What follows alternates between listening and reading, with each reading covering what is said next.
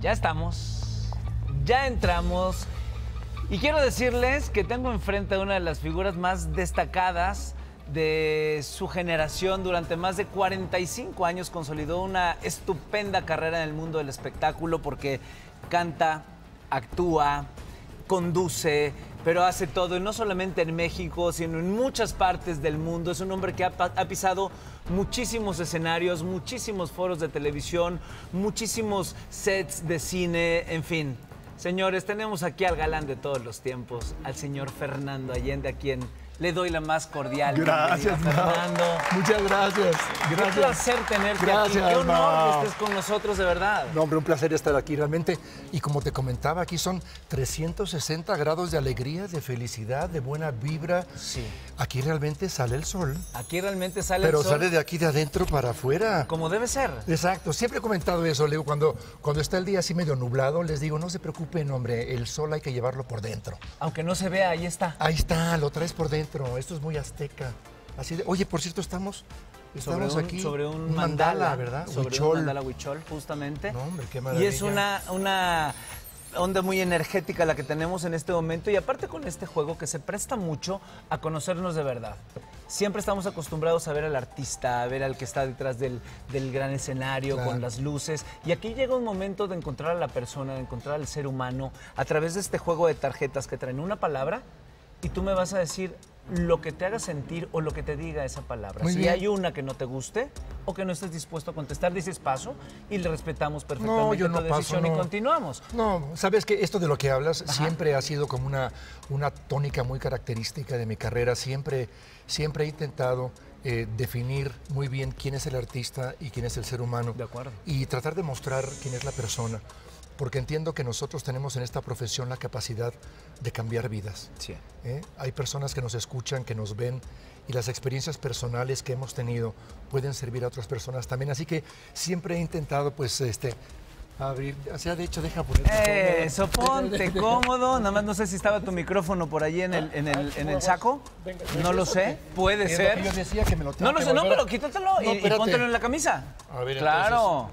Venga para acá. Lo importante es que estés moderna. cómodo, que estés Bueno, bueno, bueno, ¿me escuchan? Ahí estás. Ok. Vamos a darle. Ahí estás. Perfecto. Vamos a empezar con esta que dice, Sale. mira nada más, no sé qué te recuerde o que te diga Puerto Rico. ¡Wow!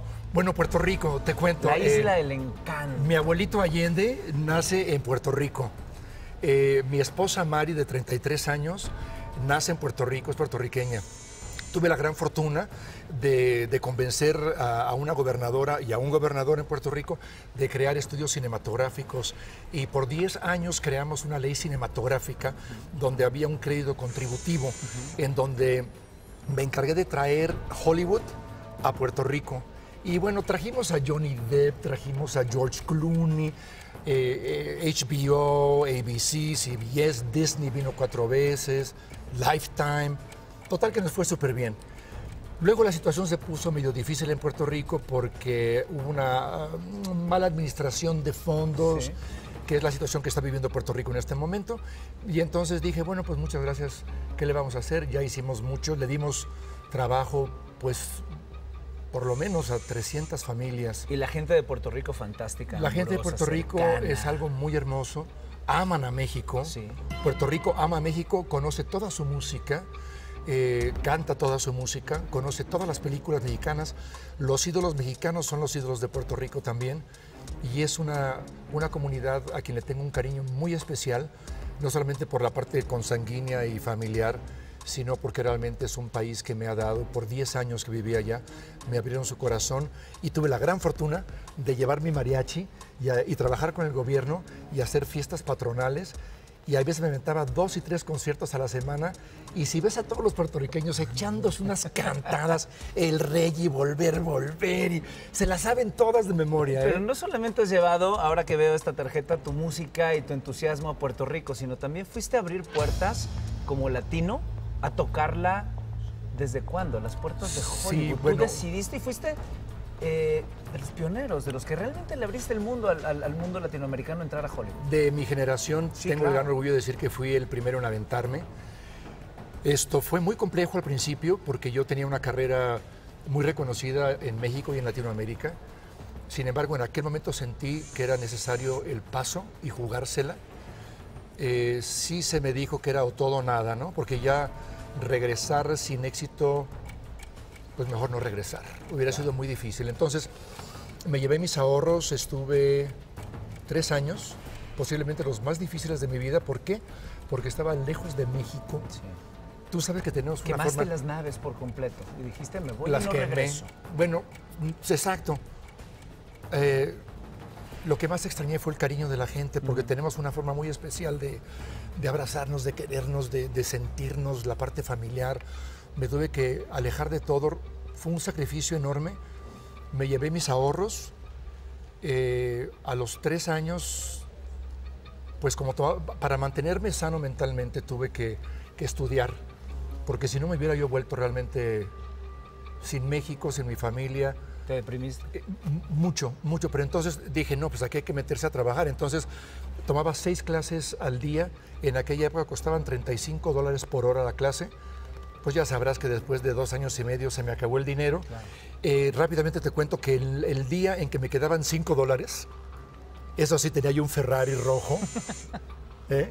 que no lo había terminado de pagar, y tenía yo mi penthouse en Beverly Hills, que lo andaba yo pagando, y me quedaban 5 dólares. dólares en la bolsa. Entonces dije, ¿qué hago? ¿Le pongo gasolina al carro o me voy a mi clase de yoga? Y decidí irme a la clase de yoga que me costaba 5 dólares, era la más barata de todas. Y ahí sí ya al final de la clase pues me puse a llorar, sentí, hubo una conexión muy directa con Dios y le dije, te dije, Dios mío, ya no puedo caer más bajo. Y él me contestó, si no puedes caer más bajo, no te queda más que empezar a subir. Y dije, ay. Y llegué a la casa, había un mensaje de mis agentes que nunca me hablaban. y había un mensaje que querían verme al día siguiente, que porque estaban lanzando una figura joven junto a una estrella de Hollywood, ganadora de un Oscar que se llamaba Joanne Woodward, esposa de Paul Newman. Y bueno, pues esa fue la, esa fue la primera película estelar que hice y después de ahí pues ya fueron ocho años de, de éxitos constantes hasta que decidí ser papá y dije, bueno, ya, se acabó Hollywood, me mudé a Aspen, Colorado, compré un rancho, tuve mi primer hijo, luego mi segundo hijo y, y bueno, ya qué ¿Y más. luego? Uy, mis nietos.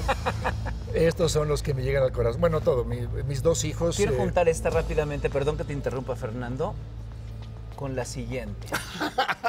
Y es nietos. ¿Qué conexión existe entre los nietos ¿Y Lala? y Lala? Bueno, este, eh, te cuento, lo- los nietos es lo más hermoso. Eh, María Valentina y Fernando José Sí. son así como lo máximo de nuestra vida. Los adoramos, son seres maravillosos. Por supuesto, Elan y Adán, eh, nuestros dos hijos espectaculares.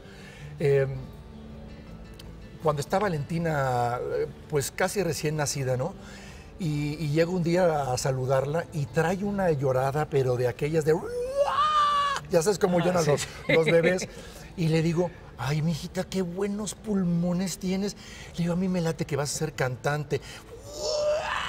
Y le digo, "Ven, ven, vamos a empezar por la primera clase. A ver, la, la, la, la, la, la, la, la, la. Y empezó a calmarse y- dejó de llorar. Y dije, bueno, pues qué maravilla, ya dejó de llorar. A los dos días llego a saludarlo otra vez y me dice, Lala, ¡No! Lala.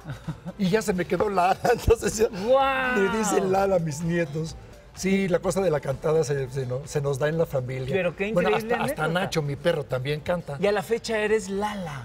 Soy Lala Por para, esta para maravilla ellos. que él descubrió que le cantaste con Lala. Pero fíjate qué, qué inteligencia tienen los bebés y qué retentiva tan enorme tienen. Claro. Porque yo dije, bueno, si apenas estaba comenzando a hablar y dijo Lala, Lala, Lala.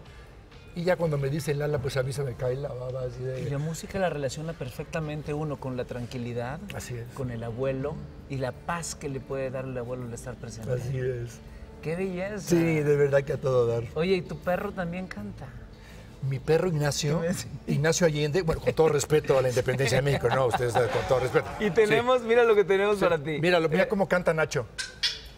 vamos a intentarlo otra vez. La, la, la, la, la, la. ¡No! Ah, este quedó muy bien. Una vez Oye, más. pero parece más La, delfín la, que la, perro. la, la, la, la, la, la, la. La, Una vez más y ya, vamos a. La, la, la, la, la, la, la. No, hombre, Nacho. ¡Qué cosa! ¡Qué personaje, mi Nacho! Oye, pero aparte, y, y traes también, hablando y retomando el tema de la música, un proyectazo próximo. Ya Sí, está, ya está, No, ya no, está no. cocinado. Esto se bueno, dos proyectos realmente. ¿no? Bueno, tengo, tengo dos proyectos muy importantes ahora. Te puedo hablar eh, abiertamente de uno que es eh, mi disco con Universal Music, que por cierto se han portado. Oye, qué gente profesional, qué gente considerada, buena. Bueno, yo estoy feliz con Universal. Entonces. eh, un- Disco nuevo. Disco, no, bueno, no solamente disco, son 12 temas y 12 videos musicales. Ok. Eh, el proyecto se llama Ahora o Nunca y lo que traté de hacer es eh, rescatar esas canciones eh, con las que viví mi juventud. Un Y obviamente nostalgia. es una, una nostalgia rítmica. Ya luego les voy a, a- a cantar y a bailar tómbola. Va, que- buenísimo, Que está sí. de agasajo. ¿Ya llegaron las bailarinas, muchachos? Qué bueno, trátenmelas bien, por favor, ¿eh? Como acostumbran, ¿eh? Entonces, eh, eh, elegí 12 temas eh, que afortunadamente me, me permitieron elegir. Es un proyecto en el cual he estado realmente muy envuelto, Mauricio. Eh, en otras ocasiones, este es mi disco número 19. Sí. Y en los otros 18 siempre, siempre estaba yo eh, dependiendo de lo que me decía el productor. Aquí me dejaron elegir las Estás canciones. libre. Y las canciones que he elegido todavía me erizan la piel. ¿eh? El- el- elegiste Tómbola para cantar con nosotros en un Hoy les voy a cantar tómbola. Hoy ¿sí? nos canta Tómbola Fernando Allende. No nos despedimos, Fernando. Ha sido un placer, de verdad. Gracias, aunque sea un poco de tu vida, de tu familia, de tu carrera. Y nos encantaría escucharte cantar más adelante. Gracias, ¿Te con mucho gusto. Aquí nos vemos. Fernando, qué gusto tenerte Gracias. aquí. Seguimos con más. Sale el sol. Eso.